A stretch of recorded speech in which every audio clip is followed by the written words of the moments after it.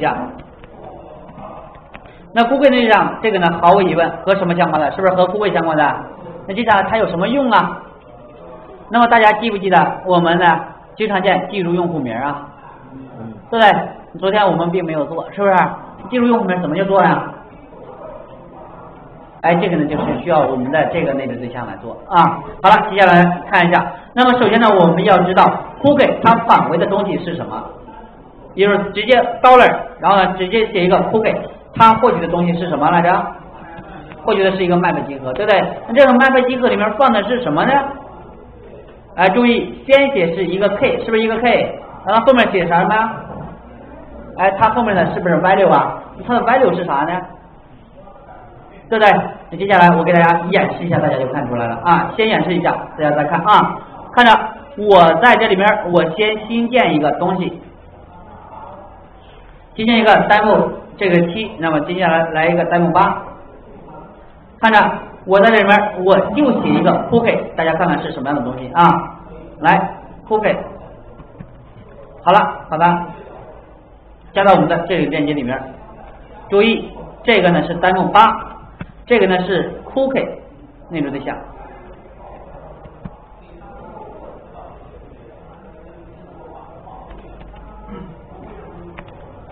来看着它获取的是什么东西？回去刷新一下页面，走，发现这是什么？这是一个什么？cookie 的什么对象？是不是一个 cookie 对象？哎，所以呢，我是不是可以这样发？可以吧？能行吗？理解吗？啊，那接下来我问一下啊，这个东西到底是获取的是什么玩意儿呢？来举例啊，例如，哎，我们之前创造库柜的时候，创建库柜怎么创建？创建库柜，哎，那么是这样写的，也就是说我们的库柜 C，然后等于什么你有一个库柜，对吧？啊你有一个库柜，是不是这样写的？那比方说，我们要将用户名存到我们的库柜中，那么是不是应该给它起个名字？是不是 username，然后逗号后面加上一个什么？Tom，比方说是个值是 Tom，可以吧？你是不是就把 Tom 放进去了？然后紧接着怎么办？是不是 response 点 add 一下库柜就可以了？对不对？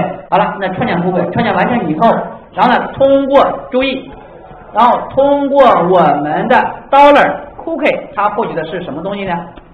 来，这个东西呢，获取的是这个。我举一个例子，大家明白一下啊。他举呃，他获取的东西呢，就是我们放的是这个东西，其实 map，map 这里面的 k 是啥呢？k 是 user name，然后 value 是啥呀？value 是我们这个 new 的这个 cookie，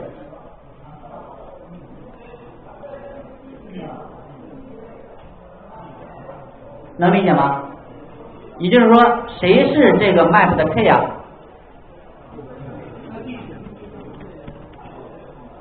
谁是 k 呀？哎，相当于什么？map map 的 k 是谁 cook 的什么？是不是 cook 的键？是不是 cook 的键？然后呢，map 的值呢？value 是什么？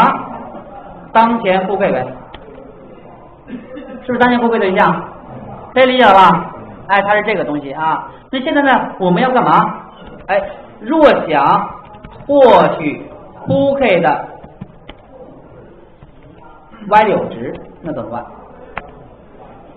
是哎，来获取呃名称为 user name 的 cookie 的值 Y 六值怎么办？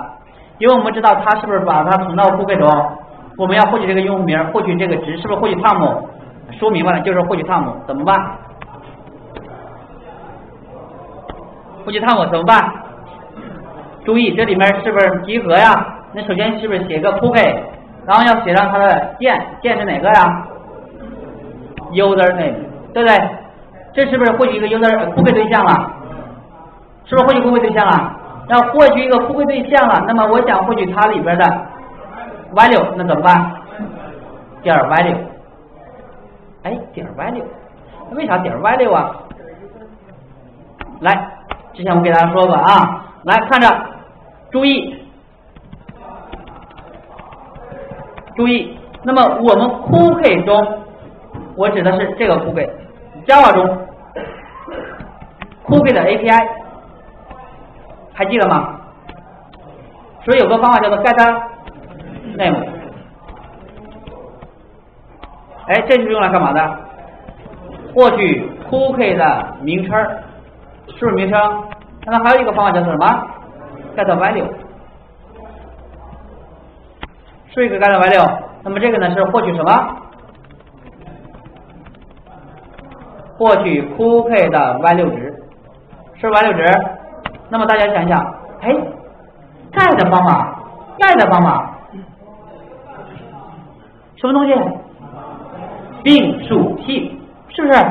那么这样的话，哎，我们称什么 name 和 value 是不是？哎，我们称称是吧？称 name 和 value 是什么？是 cookie 的定属性，对不对？你现在可以 cookie 的 username 是不是可以获取到一个 cookie 对象啊？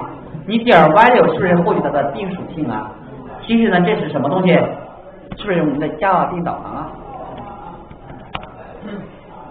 是不是 Java 并导航？哎，理解了吗？可以了吧？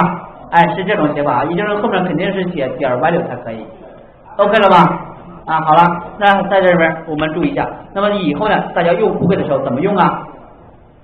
来使用 cookie 内置对象的时候怎么用？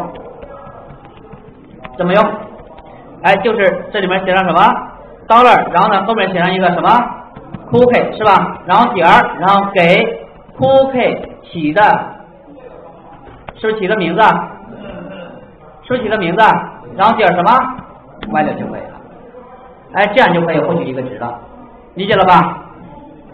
可以了吧？哎，好了，以后呢就这样用就行了。那紧接着我们知道访问一个 GSP 页面，它里面都有一个 cookie。叫做接三人 ID，知道吧？是不是？那接三人 ID 能不能获取到啊？可以吧？那来，例如，那要获取接三人 ID 的值，怎么获取啊？那是 dollar，然后这里面写上什么？cookie，然后点儿接，注意什么？大写吧，对吧？人家名字叫接三人，是不是大写的？点儿 y9 就可以，OK 了吧？啊，那接下来看是不是啊？来看着，在我们的在这里边，哎哪儿啊？这个页面里面看到了吗？是不是大写的？哎，所以呢，这样这样用一下啊。那要获取值，那怎么获取啊？哎，咱们可以用一下，怎么获取？点儿什么？接 session ID 是吧？然后点什么 value 就可以了，看刷新一下行不行？刷，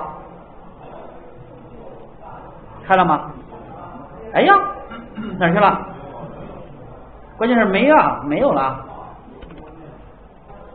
接三任 ID 是吧？然后点 value 保存，好了，再来刷。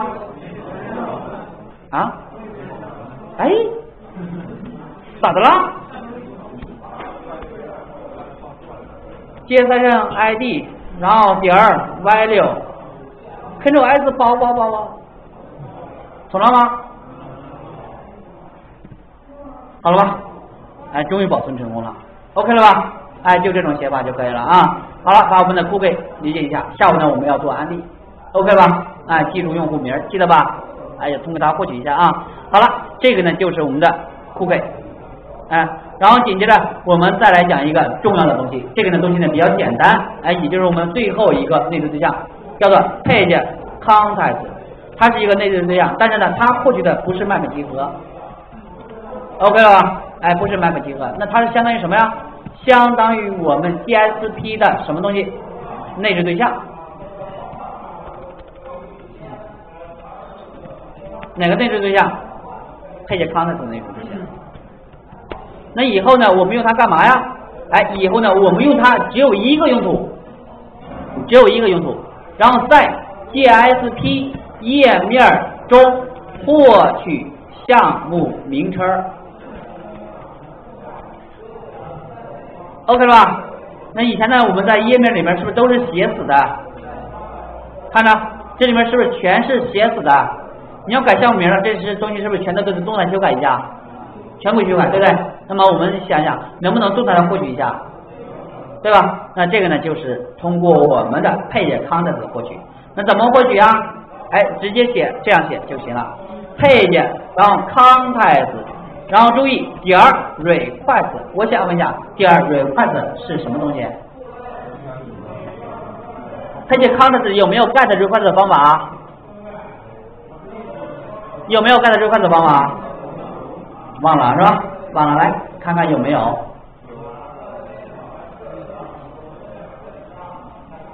注意，get request 获取的是 request 内容对象，有它可以获取其他内容，对不对？那这个呢，就是获取了什么了？是不是就可以获取了？对不对？然后你要获取它的什么东西？呀，哎呀，我这输入法怎么了？这是什么东西？哎，是不是就相当于配件 class 里面有个 request 的属性，并属性？那 request 这是不是就获取它的对象了？那对象里面呢，它是不是也有 get class 的 pass 这么一个属性，对吧？那么它就可以获取项目名了。到底能成功不能成功啊？用一下呗。来，跟着我用一下啊！看着，如果我这样写，看着，如果直接写 dollar，然后呢这里面写 page contents，然后点 request 点 contents pass，OK 吧？那么如果能跳转成功，那我就证明证明什么了？它是不是获取项目名了？对不对？来，这个呢是我们的 page context 内置对象，掌握。哎，就这一种用法啊，就这一种用法。那接下来我们来看能行不能行？来整个 demo 九吧，哎，或者 demo 八是不是也行？可以吧？来，接下来我们就来刷新一下吧。来，回去刷新一下。如果它能跳转到我们的 cookie 上面，是不是就行了？走，过来了吗？看，是不是 D 十二？它是动态的获取了。你看，来最小放上去，看下面的地址，是不是 D 幺二？可以了吧？以后呢，所有的东西呢，我们都使用这种写法，而不再是固定的写法了。那这样的话，我们 GSP 页面里面，我们也可以动态获取我们的项目名称，在 Java 里面，我们也可以动态获取的获取我们的项目名称了，对不对？好了，哎，这个呢就是我们的 GSP 哎哎 EL 表达式的内置的对象，一共十一个。那这只是一个需要大家掌握一个叫做 Cookie 的东西。OK 了吧？还有一个叫做 Page content，page content 里面就是这个用法，把它记住就可以了。好了，来把它。